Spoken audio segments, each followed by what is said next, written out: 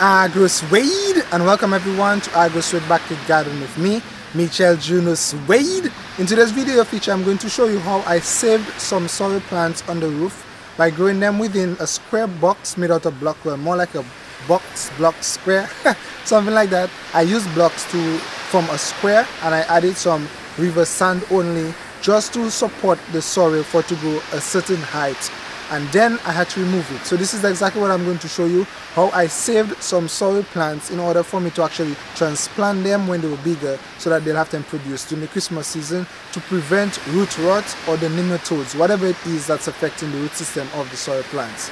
Let's go ahead.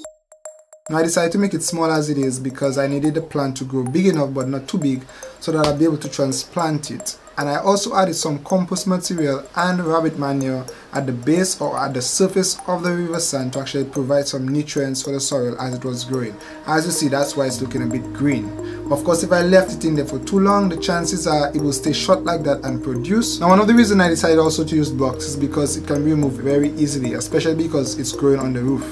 I can easily remove the blocks to actually get access to the soil.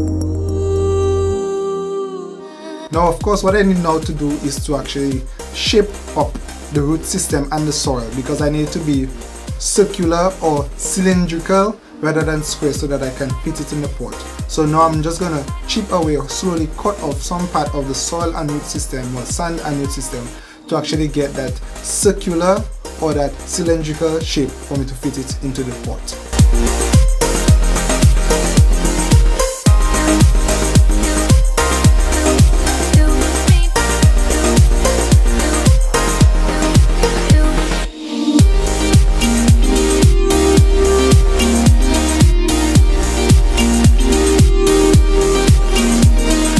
That I've fitted into the pot, I'm now going to take this pot with the soil and the river sand and I'm going to transplant it in the backyard garden. But guess what? I'm not transplanting it in the backyard garden by taking it out again from the pot and put it in the soil, but I'm leaving it in the pot and planting the entire pot into the soil. Not flush with the soil surface, but I'm leaving some height.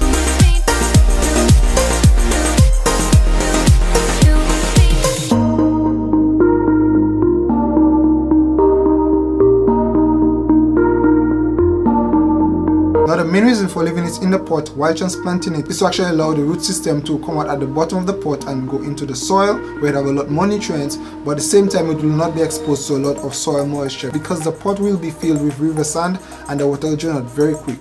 So this is one way indeed that you can actually grow your sorrel by growing it on a roof or somewhere safe in river sand, carving off the soil and then putting it into the pot and transplanting it into your main gardening area. Thank you very much for liking our video. Thank you for subscribing to our YouTube channel. Thank you for liking our Facebook page and for following us on Instagram and on Twitter. The links for all the social media sites will be in the description for this video on our YouTube channel, AgroSuede Backyard Garden. Thank you very much. And remember, a backyard garden in some ways will keep the doctors away. And Agros Wade is out.